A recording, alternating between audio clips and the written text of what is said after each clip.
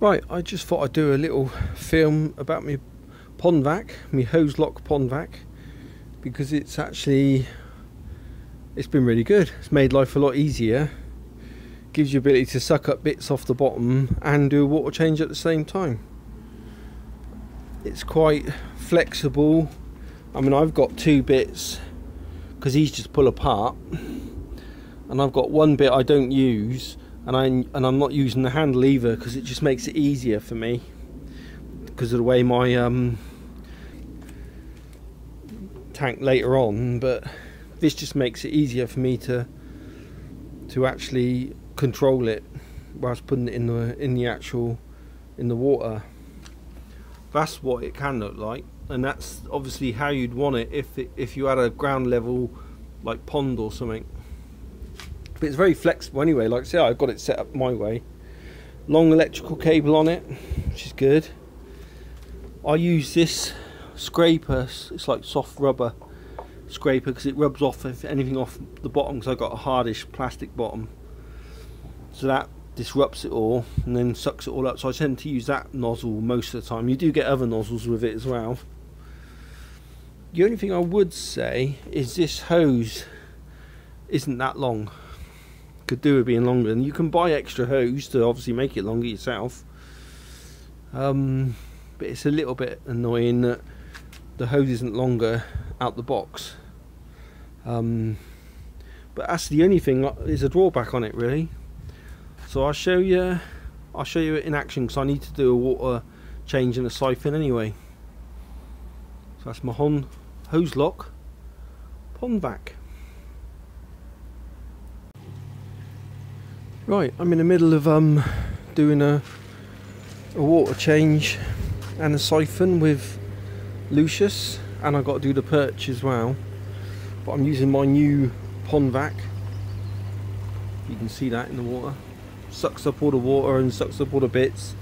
I've already done a, a an actual vacuum of the bottom. Now I'm just taking the water out.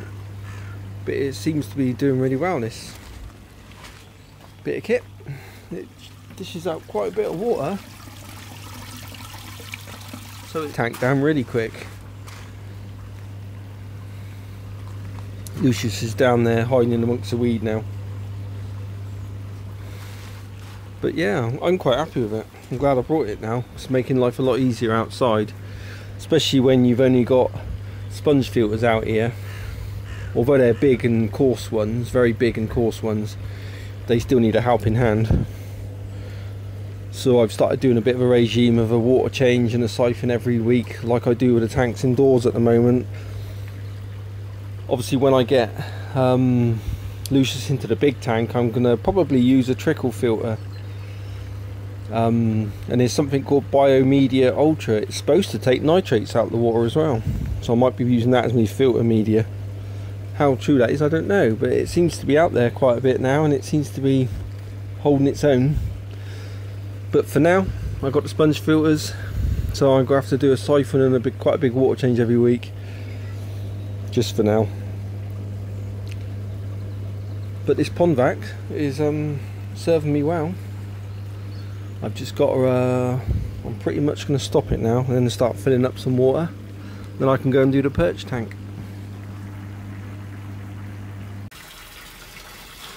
Right, that's the siphon done and the water changed, the water's gone out. Now I'm putting water in. I've stopped using that because it's really slow. So I've got a normal hose pipe going in and I use what I use indoors. My sodium thios, pre-mixed sodium thiosulfate. I use that now. And I should be putting in probably another bit in as well because there's quite a bit of water to go in.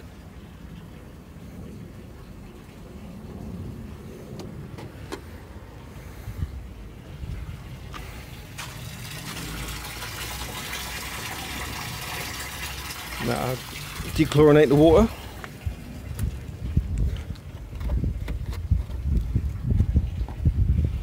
So I can um that water's well that water's going in. I can come up here and start doing uh, the perch. Get the lid off, start doing the perch water change as well. Right, I've got the perch tank. Doing the perch tank now. But if you can see all that mess down there, I'll show you. Watch me suck all that up.